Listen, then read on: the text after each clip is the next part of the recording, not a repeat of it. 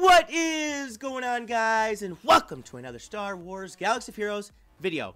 Today we're going to do something a little different and we are going to look at some of the statistics of the game. What is the top leadership ability used in the game? What character would that be? What is the most used squad composition?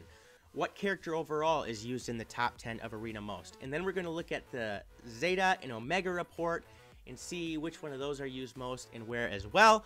By the way, if you go to swgoh.gg, you plug in your account information, you can sync your account, and you'll be able to look at all of this information as well.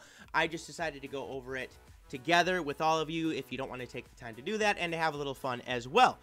So when you look at this, you can tell that probably the highest percentage are the characters that are working best in the arena at the moment to get to 1 to 10. As you can see here, it says that I have the rank 1 to 10 in Meta Report. So this would be rank 1 through 10, obviously, in the arena. And leadership ability, right here, the number one overall. Now, first of all, this is based on 12,827 arena teams. This is not the whole community, but it's a pretty darn good representation of what it is. The best leadership, or I should say the most used leadership character and ability is Emperor Palpatine. He has 5,220 leadership spots in these 1 in 10 leaders. And he's pretty good. I use him myself as a leader. He right now is the current meta used with his Sith counterparts and some Empire counterparts. So he's in 41% of the teams. We have Jedi Training Rey, who's 22%. She used to be the highest. She's gone down a little bit, but she's still viable. She's in 2,884. Rex is in third at 19%, 2,418. He was lower until Palpatine came out, and he went back up there again. He has some good counters, especially in my squad. There's a lot of Rex teams in the top of my arena. Commander Luke Skywalker is fourth. He's only a 9%. Let me tell you, let's go back six months ago. He was easily number one. He, oh man, let's not even think of what he was there. Then Mother Talzin, Asajj, Asajj Ventress, Grand Admiral Thrawn, Ackbar, Kylo Ren Unmasked, General Veers, Vader, Chirpa, Maul, Wedge, etc. Not going to go on from there. Those are the top leadership characters that are used in the 1 through 10 ranks in Arena. By the way, if you're looking to, you know, gain more ground in Arena yourself, look at this. Use this to your advantage. Go, hey, a lot of people use Emperor Palpatine in their 1 through 10 leadership. I mean, so th these people are getting first in the arena, you know, first through 10. And go, maybe, you know, maybe, maybe I should go, maybe I should do that but also be unique. Don't forget to be unique because that's what makes the game fun. If everybody runs the same team all the time, that would be stale, boring. Try things up, throw different things in, do what works for you and how you mod your characters. Next, we're going to do the top team composition in ranks 1 through 10 in Squad Arena. And the number one team used with 329% and a count of 2,567 is a Palpatine lead, of course, Vader, Nihilus, Thrawn, Sion. I also run that team, but every once in a while, switch it out. The True Nightmare team takes out Thrawn and puts in Sith Trooper. That's what I use. But let me tell you, against some Rex lead teams, I definitely throw in Thrawn. He's a great character. That is the number one team. The next number one team, or number two team, I should say, is Jedi Training Rey, General Kenobi, R2, Thrawn, and BB-8. That is considered the best composition to put around your Jedi Training Rey. It still can get first in arena. It falls a lot more on defense than it used to because of the Palpatine teams, but it's still a very viable team to get first. Then, in third place with 91%, 713 count, we have a Rex lead with Solo, General Kenobi, Thrawn, CLS. Great team. Rex used to be the meta way back in the day. He took kind of a break for a little bit. Well, you know, we had Commander Luke Skywalker and Jedi Training Rey, and now Palpatine's back, and boom, Rex is back. Awesome. Then we have the Emperor Palpatine lead, Vader, General Kenobi, Nihilus, and Thrawn. If you throw in General Kenobi to any team, you're going to be fine. Trust me. Just replace one character you don't like, it'll work. He's a great character. Next, we still have the Titans team, and that is 65%, 510 count. CLS lead, Han Solo, General Kenobi, R2, Thrawn. That was the meta for the longest time. It was the best team to get played first in Arena. After that, we have the Emperor lead team with Vader, Nihilus, Thrawn, which is pretty typical. And then they throw in Solo. You want to get that offense up in there. And then when you get to number one, you probably want to switch in a different character to try to get a better defense. Next, we have Emperor. This is this is the team I run. This is what I consider the true Nightmare team. Emperor, Vader, Nihilus, Sith Trooper, Thrawn at 39. Oh, I'm sorry, I'm incorrect. That is not the team that I run. I have Sion in there instead of Thrawn. So this isn't technically the true Nightmare team, but this is still a very good team overall. Emperor Palpatine, Vader, Nihilus, Trooper, Sith Trooper, and Grand Admiral Thrawn. Then we have the Rex lead, Talzin, General Kenobi, Thrawn, and Wampa. Wow, that team can be a nightmare to take care of. I find I have to have a fast Thrawn in there to usually fracture Talzin or Wampa, or sometimes I do Rex first just so he can't get his tenacity up. Then we have Gen- uh, Jedi Training Rey, Raid Han, General Kenobi, R2, and BB-8. 260. That's still a pretty frequent team. Let's see. We've gone through 1, 2, 3, 4, 5, 6, 7, 8, 9. And now we have Emperor Palpatine, Darth Vader, Shore Trooper, Nihilus, and Thrawn coming in at number 10. And the True Nightmare team, I think this comes in at number 12 or 13. I lost count. That's 25% there. Emperor, Vader, Nihilus, Trooper, Sion. That's the team I use the most, but like I said, I throw in throw Thrawn a lot. So as you can see, the Palpatine lead, Jedi Training Rey um, lead, Rex, and a CLS still mingles around there. Those are the top four. It's a lot more diversified than it was with just Jedi Training Rey, Jedi Training Rey, Jedi, and Night. You know, you threw the Night Sisters in there. They're falling way out of favor because Emperor Palpatine can just kick them around. So those are the squads used in the top 1 through 10 ranks. Again, look at this and go, hey, maybe I want to work around this. Don't forget, you want to make sure you Zeta the characters that are most important for you to get to number one in arena. So you want to obviously Zeta Emperor Palpatine's leadership ability if you want to use him in your team. So that's pretty standard. And now what we're going to do is we're going to look at the top characters used overall in rank 1 through 10. And this is interesting and I think it's a lot of fun to look at the one, number one character used most in all of the squads ranked 1 through 10, no matter what composition, is Grand Admiral Thrawn. And he's used in 72% of the teams in a count of 9,281.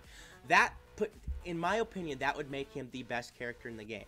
Because of his versatility and viability. He may not, you know, be the best specific damage dealer overall, but how he's used throughout all kinds of teams makes him the be- best player to farm in the game. If you get Phoenix, you want to go after them to get Thrawn because he's used in so many top teams and so many other teams besides that. General Kenobi is a no-brainer. He's used the second most and 49%. Before the Sith meta came out here, I'm going to say he was probably first. Palpatine is third. Trust me, he was not in this top 10 uh, before the Sith meta. Nihilus, he could be hovering around here for a while, Vader wasn't. Now he's back. R2 definitely. In fact, if I could go back before the Sith meta, I'll say this a lot. R2 would probably be 90%. Seriously, he was used the most in the top 10. Darth Sion, a harder character to get. I, of course, bought him and have him to 7 stars.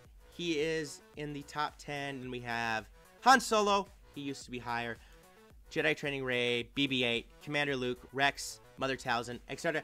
So the, inter- the big thing you want to take out of this is Grand Admiral Thrawn is number one, and that's because he can fit into any team possible, whether it's a light side team, whether it's a dark side team. Put him in with Night Sisters. That fracture ability and his ability to swap turn meter and cleanse. It is the best support character in the game by far. Really fun to play with. Definitely farm Phoenix. If you haven't, that should be your top priority. Now, we are going to look at the top Zetas in the game. And the most stated character is Commander Luke Skywalker. It binds all things. That is his third Zeta. It's not his leadership ability, but it's one that can act as one. And it says whenever Luke resists a detrimental effect, recovers 5% protection. Whenever Luke inflicts a debuff, he gains 10% turn meter, and other allies gain half that amount. So, he has 6.27% of all Zetas total in the game. Think of all the characters. That's quite a high amount. 85.02% of Gear 10 Commander Luke Skywalkers have this ability Zeta. 78% of all Commander Luke Skywalkers owned have this ability Zeta. Of course, he has his other two abilities, but that this is the number one Zeta ability in the game. Number two is R2D2, and I can understand that. Number crunch, man, giving all those bonus stats to the droid, Republic, Rebel, and Resistance allies awesome. It's in 6.19 or 6.19% of all Zetas in the game. Again, that's pretty high. 67.74 of all R2D2s have this Zeta, and 80% of R2D2s over Gear 10 do. That's and by the way, this is a for if you're losing using a light side team, this is a no-brainer must Zeta ability, not only for arena but for all areas of the game. Raids, Galactic War if you still have to do them. Incredible. Next, Darth Vader inspiring through fear. This this when the game first came out and he got his rework, this was probably the highest. Then people stopped doing it for the longest time, and then when the Sith raid came out, or in the in the uh, Sith meta came out, they probably started Zetaing him again. He has 6.12% of all Zetas in the game, 61% of all Darth Vaders are Zeted, and 66% of all Darth Vaders over Gear 10. He's Palpatine is the leader now usually, but Vader's inspiring through fear, especially if you use him with Wampa in the raids, can do lots of damage. I can understand why he's in the top three. Han Solo shoots first. This may be the best overall Zeta in the game. Plus 10% critical chance, and the first time each turn Han uses his basic attack, he attacks again. Okay? Attacking twice, even with a little bit um, less damage in the second. Huge deal. 5.29% of all Zetas, 65% of all Han Solos, and 80% of all Gear 10 plus Han Solos. And this is the only Zeta he has. Kylo Ren Outrage, understandable. I'm not going to go over it as much. He used to be probably the top. New characters have come out since then, but a lot of people, when they first got it, Zetaed him. 4.57% of all Zetas in the game are used on him. 53% of Kylo Ren's have him Zetaed. I do not. Finn Balanced Tactics, for the longest time, this was and still in some cases could be the best Zeta in the game. I know said, said that about Han Solo, but as a leadership ability, this is most likely it. It allows you to take a Gear 8 resistance team and be able to go into territory battles or even certain arena teams and keep spamming that expose and turn meter and take them out without ever taking damage if you take do it correctly. 4.5% of all Zetas, 59% of all Finns. Next, combat analysis. Wow. R2D2's second Zeta, uh, Zeta here, or if it's in line with his first, is also in incredible. If you have R2D2 in your lineup, in the light side lineup, if you do not have these two uh, abilities Zeta, are you good? Like, seriously. When he's active, whenever a light side ally scores a critical hit, dispel all debuffs on them. You're cleansing, uh, you know, without having to use an ability it, it, it's incredible. It's a passive cleanse. You need to have this. Then Emperor Palpatine, Emperor of the Galactic Empire, 3.69% of all Zetas. And remember, this only came up about, about three months ago. No, not three months ago. Jeez Louise. One to two months ago. So this has been getting up there to 37% of all Emperor Palpatines have that Zeta. Then Commander Luke Skywalker learned Control, Darth Maul Dancing Shadows, Grand Admiral Thrawn Ebb and Flow. I got a lot of heat in my top 10 Zeta video I made, and I said this in another video because I did not have him in the top 10. He should be. This ability, especially in raids, and for him to gain the counter chance to tenacity while enemies are fractured, and whenever another Empire ally uses a special ability, the fractured enemies and Thrawn loses 15% turn meter. Great ability. It should be in the top 10. Barriss Swift Recovery. Good character. Uh, she was much more viable before Jedi Training Rey came out. Commander Luke Skywalker, Rebel Maneuvers. Uh, and then, interesting, Savage Opress, Brute. That's actually pretty good Zeta. Qui-Gon Jinn, Agility Training, Emperor Palpatine, Crackling Doom.